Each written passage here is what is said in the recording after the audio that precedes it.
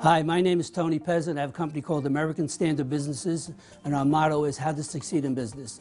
And what we offer, we offer business success uh, to all business owners or startup businesses. If you contact my office, we will come to your site and do an analysis for you.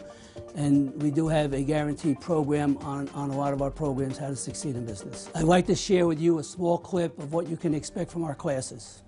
Tony, how do I start a small business? How much will it cost me? Well, the, the average business is $150,000 for brick and mortar. Uh, you can start a home-based business for a few dollars. If you're, you can start like if you're in the computer business, you can do repairs and, and, and programming from your own home. You can do that.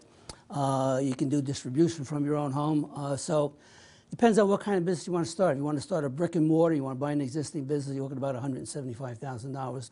Home-based business you can do under $10,000 um, and then do all of your insurance programs and things like that. But, but your average business, uh, going back on brick and mortar, is 150, 175 now.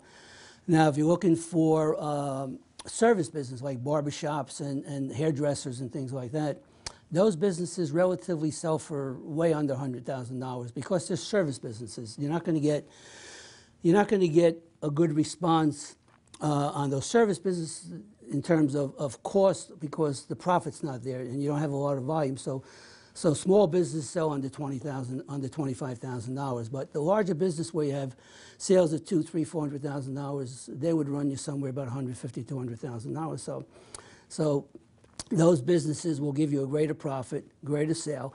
And what it does is, I always tell people when you buy a business, think about when you're going to sell. And I keep repeating that because what happens if you're buying it today, you want to know, can I sell this tomorrow? What can I get for it? So the failure comes with a lot of businesses that they're not thinking about tomorrow and how they're going to get there to make the sale. They're only worry about today. And so, so the long run of buying the business is thinking about selling it, uh, the cost of the business itself, what kind of, what, what do you want to go into, service business cheaper, brick and mortar or more money, franchise or even greater. So, so out of all the businesses out there, which are thousands, you have to see which one you want to go into. And then if you contact the office, we could then do a program for you that'll give you the dollars and cents evaluation of what you want to buy right down to the penny. I hope you enjoyed this presentation, and if you need further information, you can contact me, Tony Pezza, American Standard Businesses, at the name, at the phone number, and the web address on the screen.